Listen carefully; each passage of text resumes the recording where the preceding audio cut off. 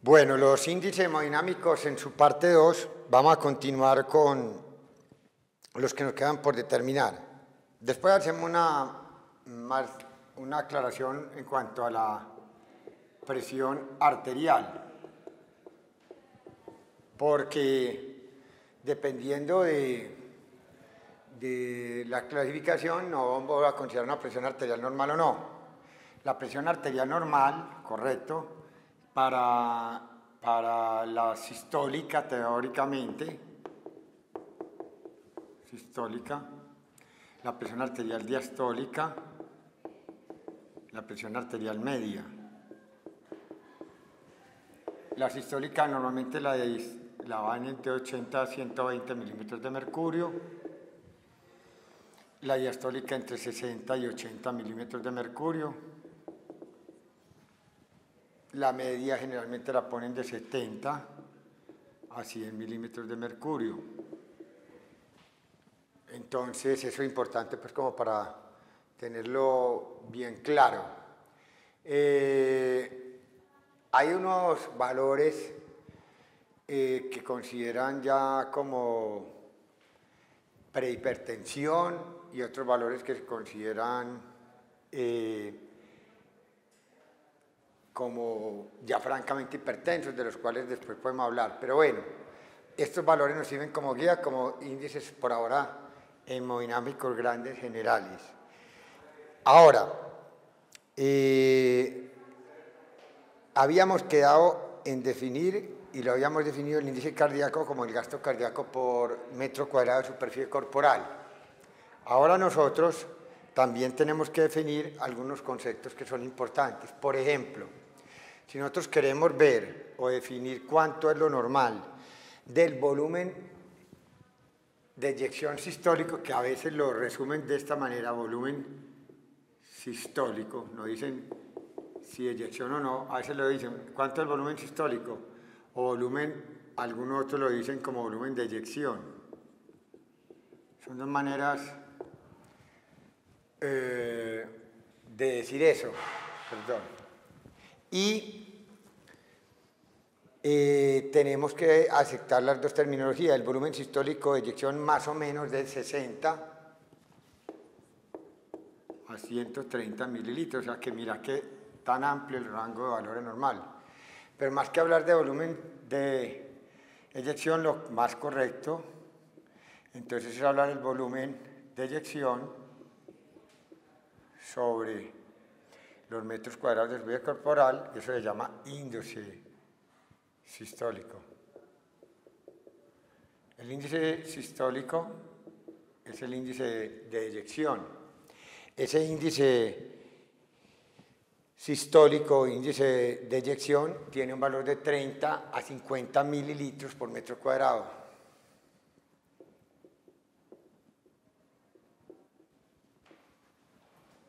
Como guía general. Volvemos a decir, esto no más correcto porque no, está, está comparando de acuerdo a un metro cuadrado de una persona para poderlo comparar.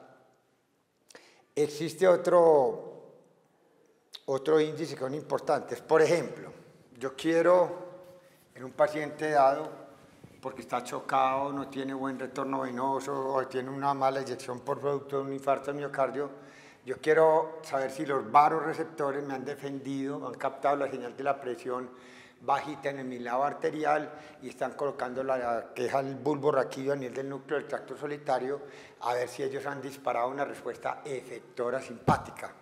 Entonces yo puedo tratar de preguntarme cómo está la resistencia vascular pulmonar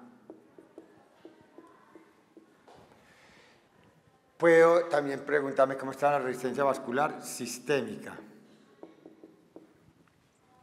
Entonces vamos a averiguar las fórmulas para esto.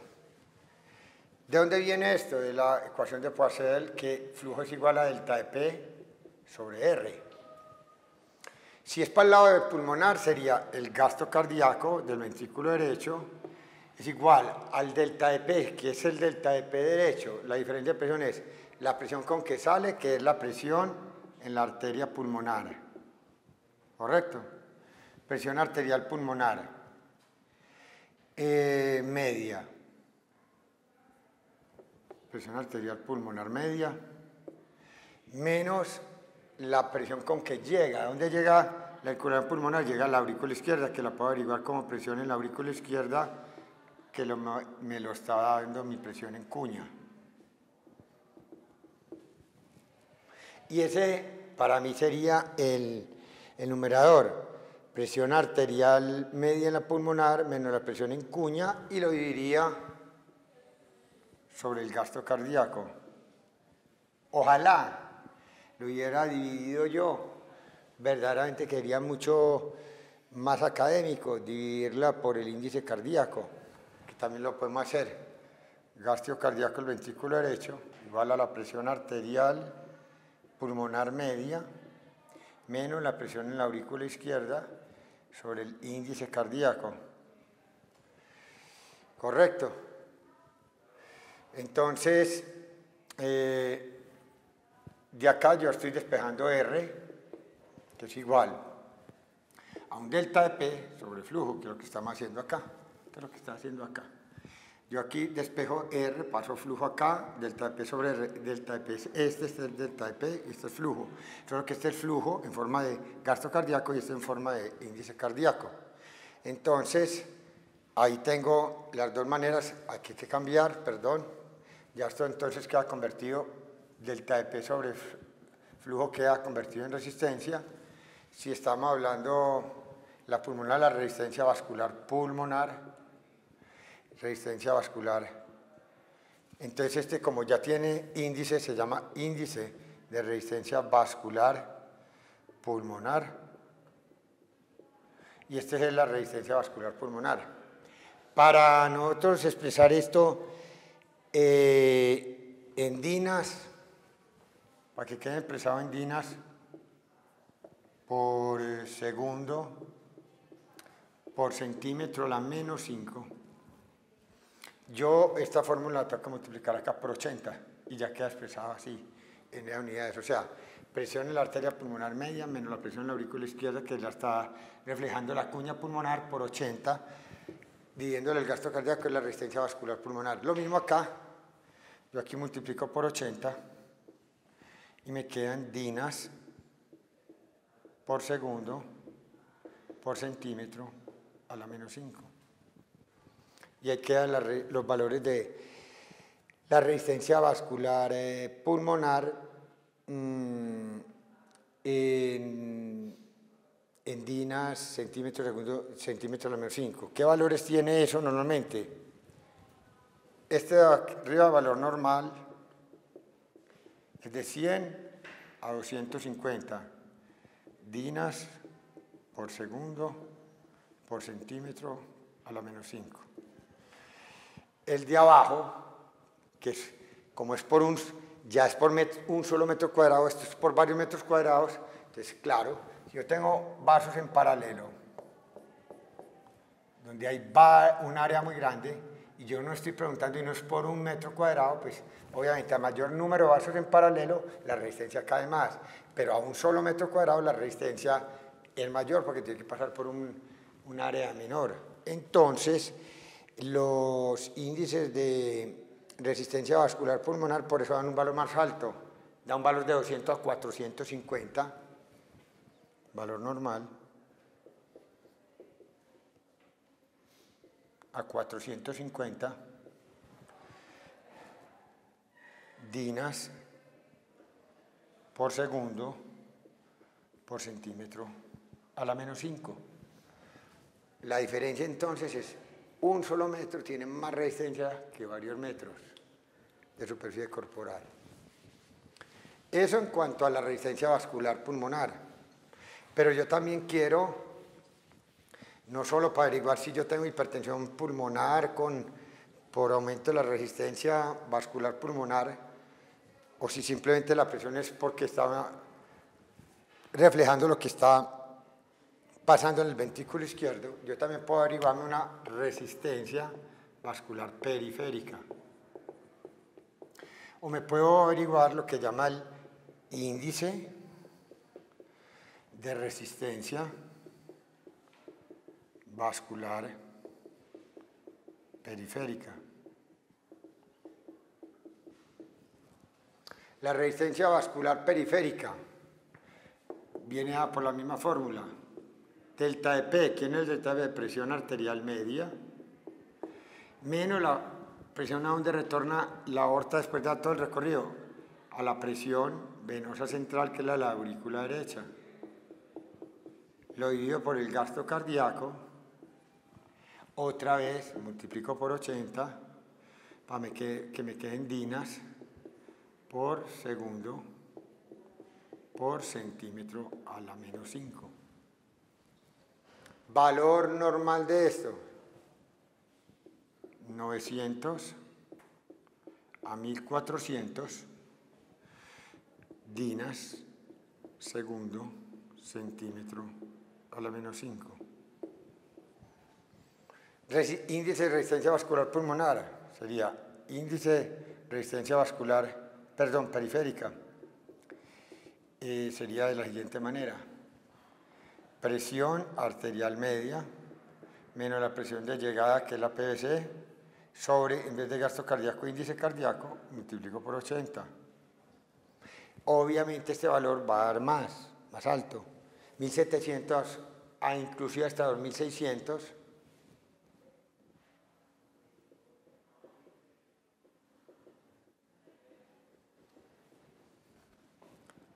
dinas por segundo por centímetro a la menos 5.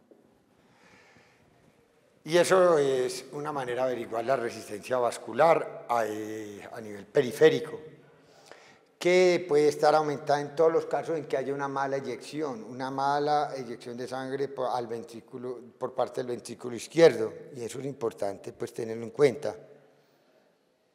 Eh, además de eso, yo quiero preguntarme a veces cómo averiguar cómo es el trabajo del ventrículo derecho y cómo es el trabajo del ventrículo izquierdo. Ese trabajo del ventrículo derecho y ese trabajo del ventrículo izquierdo también lo podemos averiguar de, sacando lo que se llama el índice de trabajo sistólico del ventrículo izquierdo y el índice de trabajo sistólico del ventrículo derecho. El índice de trabajo sistólico, índice de trabajo W trabajo sistólico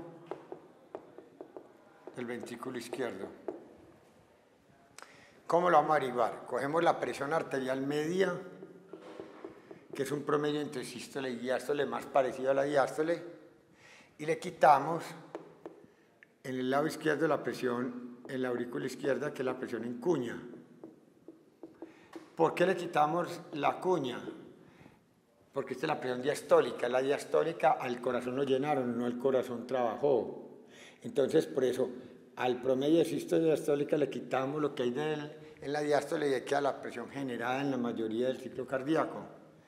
Y ahí tenemos un delta E, una diferencia de presión.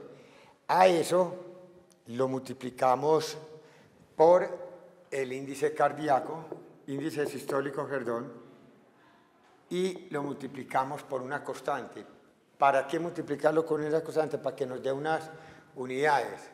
Multiplicamos por 0.0136 y ese índice de trabajo del ventrículo izquierdo y el del derecho van a quedar expresados por gramos por metro por metro cuadrado por latido. Gramos por metro por metro cuadrado por latido.